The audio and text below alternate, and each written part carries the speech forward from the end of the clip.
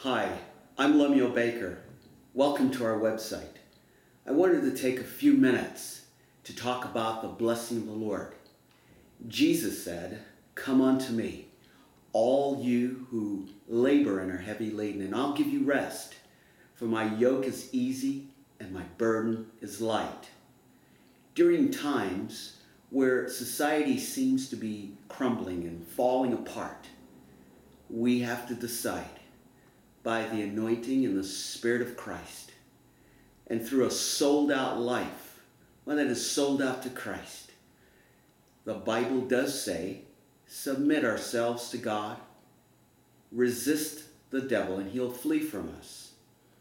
And so the first step is to submit 100%, sell out to Christ, and he'll give you life abundantly, full of joy and will have victory through our Lord and Savior, Jesus Christ.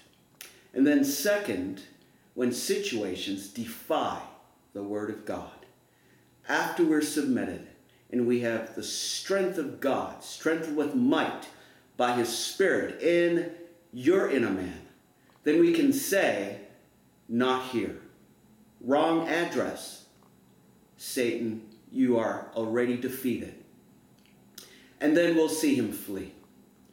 And you know, many times when things get hard, it requires another scripture which says, Is any afflicted among you? Let him pray.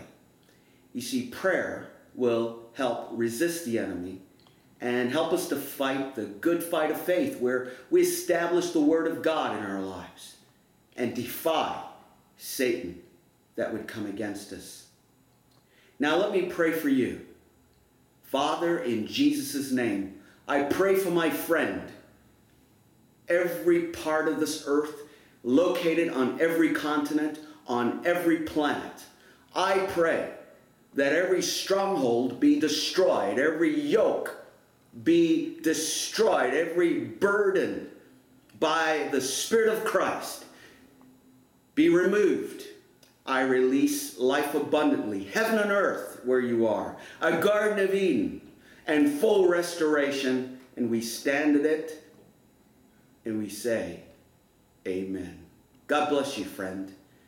Walk with God today and be a blessing right there where you are.